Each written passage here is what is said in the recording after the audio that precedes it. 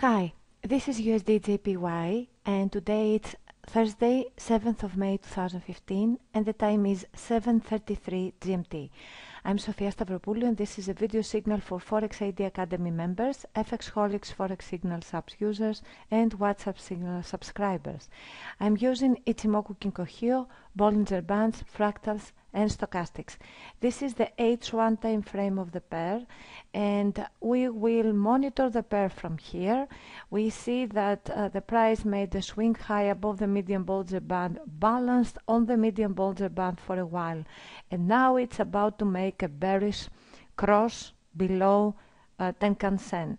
Um, when this candlestick closes, if it closes below the Tenkan Sen, enter short at 119.40 level probably uh, place your stop loss above the upper Bollinger Band uh, here on H1 a few pips above Kijun Sen the blue line and trail it above Kijun Sen let me insert a horizontal line here to see so at 119.61 you can place your stop loss and trail it above Kijun Sen as price goes lower.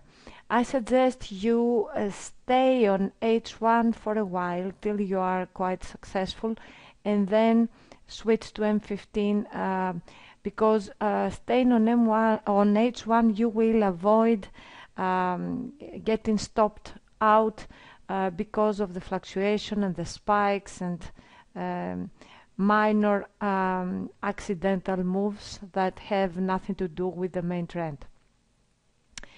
Take profit target because I know that uh, you are looking for that. Take profit target can be uh, a few pips above uh, the lower Bollinger Band on daily at 118.69. 118.69 can be your take profit target for now. Thanks for watching and happy pip.